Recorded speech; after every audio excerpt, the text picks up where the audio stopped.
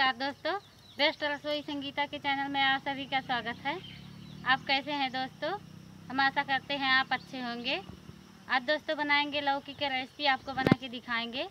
Please हमारे channel को subscribe कर लीजिए और हमारा शुरू से अंत तक वीडियो ज़रूर देखना। दोस्तों, आज हम घर में ही खाना बनाएँगे। हमने एक कप बेसन लिया है। काट लिया है, आप इसको कद्दूकस भी कर सकते हैं। एक कप हम लौकी ले रहे हैं, एक कप मैं, एक कप ये बेसन है।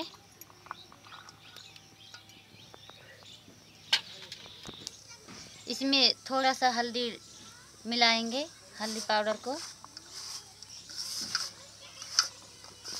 इसको अच्छी तरह से मिला लेना है। थोड़ा इसमें नमक मिलाएँगे। नमक और हल्दी को अच्छी तरह से मिला लेना है। अब इसमें थोड़ा सा पानी मिला दे रहे हैं।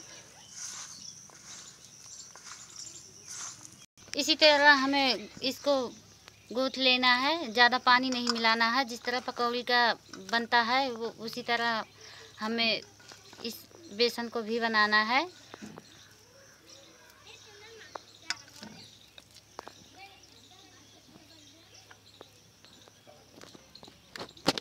हमने चूल्हे को जला दिया है, कढ़ाई को रख दिया है चूल्हे पे। अब इसमें तेल डालेंगे।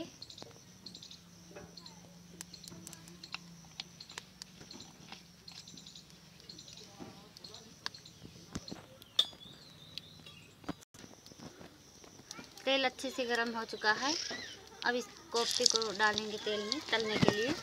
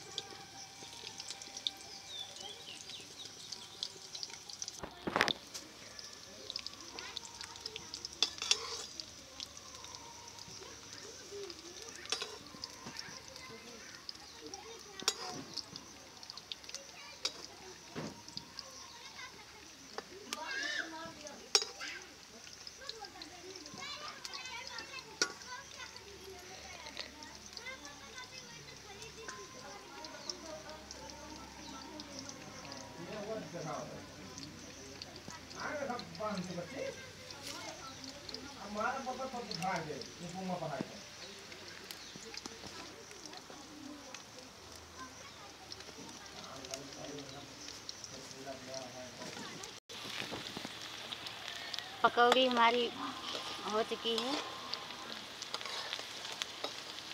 मैं भूख ये कोफ्ता अब हो गया है, अब इसको पलट लेना है।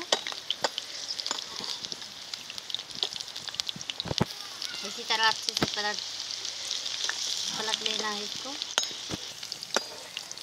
पकौड़ी इसी तरह इसी तरह पलट लिया है।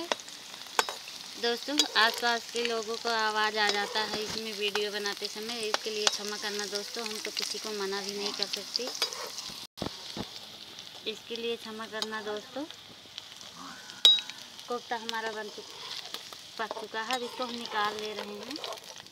अब दूसरा हम डाल दे रहे हैं इसमें।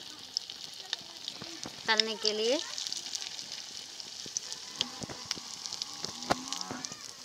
इसी तरह हमें अच्छी तरह से तल लेना है इसको।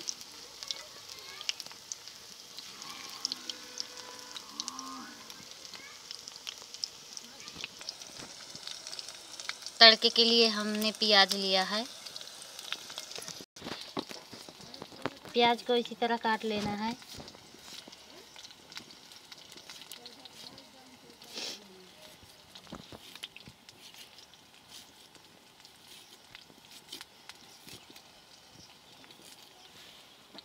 चार मिर्च लिया है, ये हरा मिर्च था, ये रखने से, दो तीन दिन रखने से लाल हो गया है।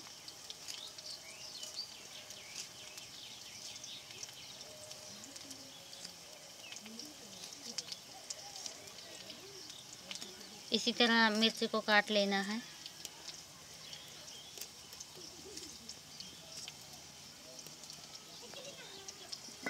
कोफ्ते को हमने तल लिया है। बचा हुआ था। अब उसी में हम तड़का लगाएँगे।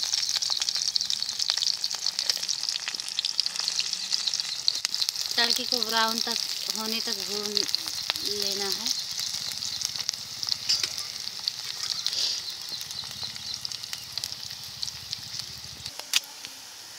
तेज पत्ते को डाल भी दे रहे हैं। तेज पत्ता बड़ा था, हमने तोड़ दिया उसको। इसी तरह हमें इसको चला लेना है। नहीं बीच बीच में कहीं कच्चा होगा, कहीं पका होगा, कहीं जल भी सकता है।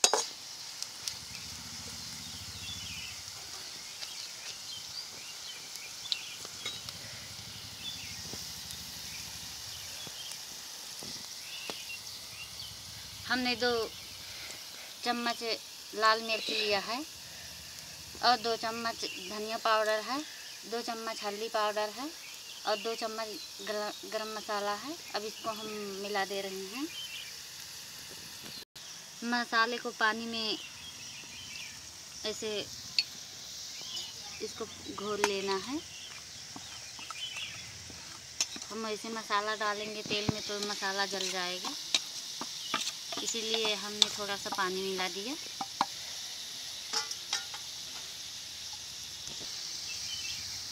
तड़के हमारे कुछ भुन उठे हैं। अब इसमें हम मसाला डाल दे रहे हैं।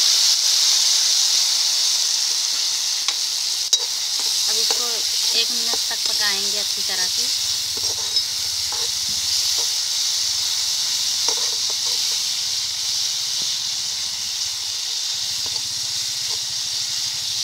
आज बाहर बारिश हो रहा है। आज हम यहाँ छप्पर में ही खाना बना रहे हैं, छप्पर के घर में।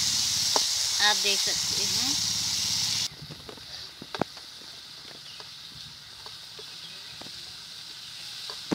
कोफ्ते को हम डाल दे रहे हैं मसाले में। मसाला हमारा अच्छी तरह से पक चुका था।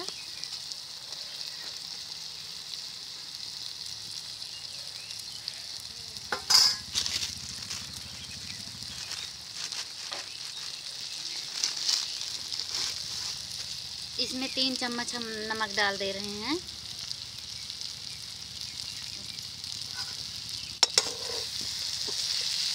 आराम से इसको चलाना है, नहीं तो फूट जाएगा।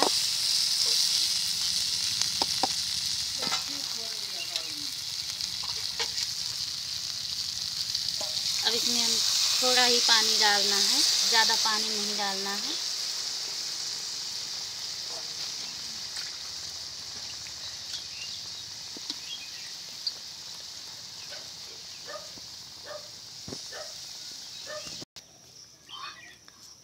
पाँच मिनट तक इसको हम पकाएँगे।